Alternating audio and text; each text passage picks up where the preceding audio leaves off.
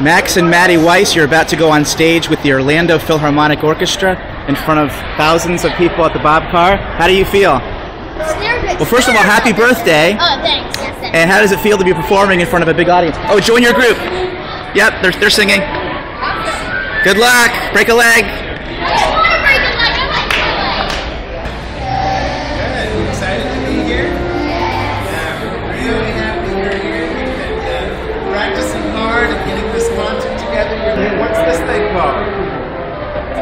Baton. That's right. It looks like a stick. Sometimes people say, "Oh, that's your stick." Baton, fancy conductor baton. So I hold it in my right hand and I I indicate the tempo or the speed or pulse of the piece, and I'll also give them an idea of how loud or how soft different things that we do, just to read the musician.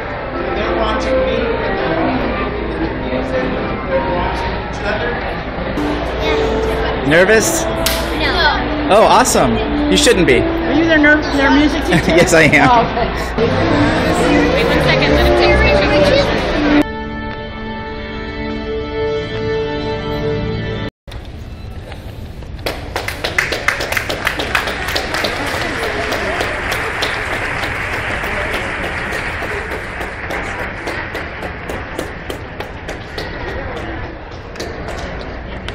just, just